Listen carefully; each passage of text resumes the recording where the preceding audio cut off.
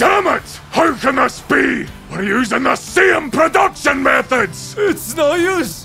All our blind tastings prove his liquor is superior. How could his be better? No! I can't take it anymore. I'd rather die than drink substandard alcohol. Should we apologise and beg the brewmaster to come back? Don't call that sick pervert by that title! Yes, I may have overreacted a bit by banishing him for life, but I'm not apologizing! A dwarf never apologizes! Ever! So, where did that weirdo go after we kicked him out of the mountain?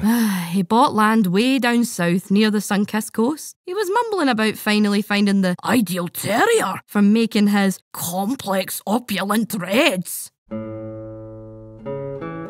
I was once bitter, living a life in exile, ostracized from my mountain home. But now I realize my expulsion was a blessing in disguise. Outside the dwarf world of rock and stone, I finally see the truth.